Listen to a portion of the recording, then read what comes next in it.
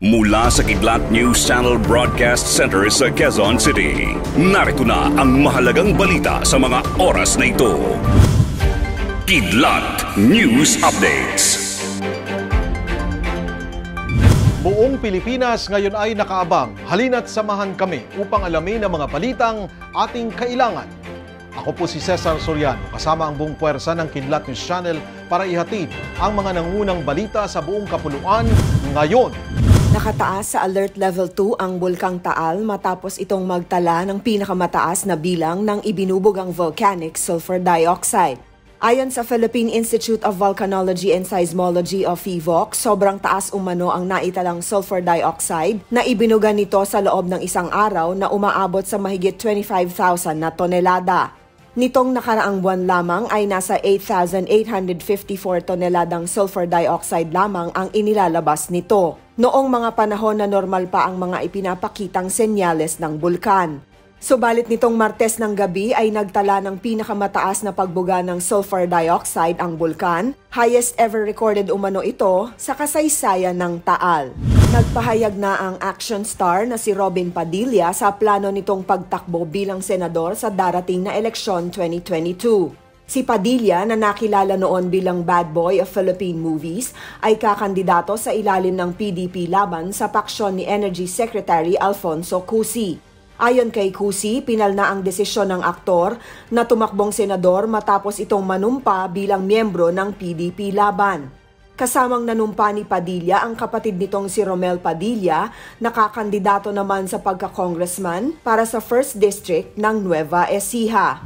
45 gobernador sa iba't ibang probinsya sa bansa ang lumantad na at nagpahayag ng kanilang buong suporta sa kandidatura ni Senator Bongo na tatakbo sa pagka-vice-presidente.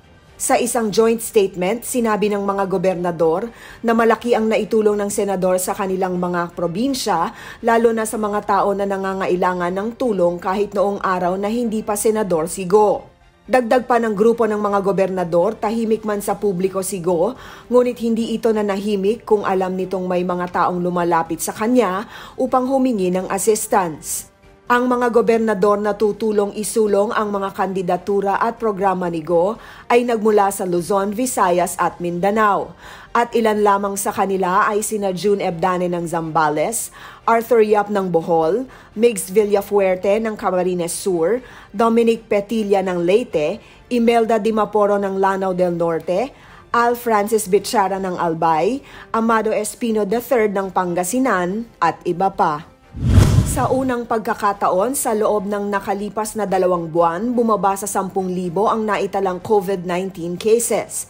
Sa datos ng Department of Health o DOH nitong Martes, October 5, mayroon lamang 9,055 ang naitalang bagong kaso ng coronavirus disease at walang naitalang nasawi bagamat nasa 103,077 ang aktibong kaso.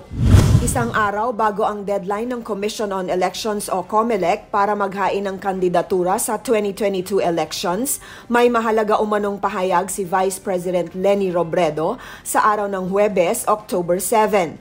Sinabi ito ng spokesperson ni Robredo na si Barry Gutierrez, bagamat hindi na nagbigay ng iba pang detalye ang panig ng pangalawang Pangulo.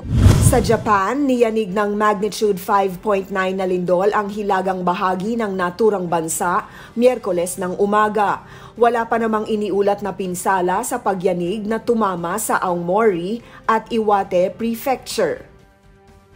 Para sa Kidlat News Update, ako si Rosalyn Sinchonko, nag-uulat.